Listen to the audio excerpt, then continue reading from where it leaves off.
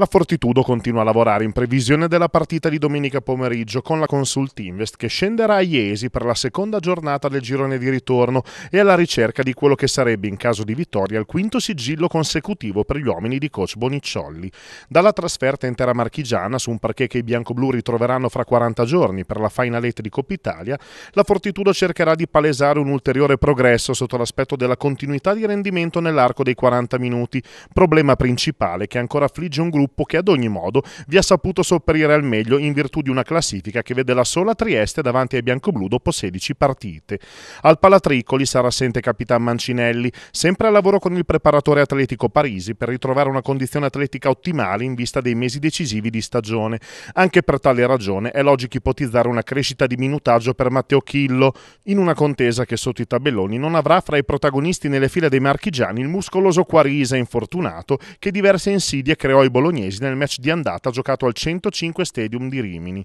Dal canto suo però l'Aurora farà esordire Marquis Green, giocatore proveniente da Venezia e che rumors di mercato davano per possibile rinforzo in vista dei playoff proprio della stessa Fortitudo. Si tratta di un innesto di notevole spessore, avendo il giocatore una lunga esperienza in Serie A e vinto nel 2008 una Coppa Italia nell'Avelino guidata da Matteo Bonicciolli.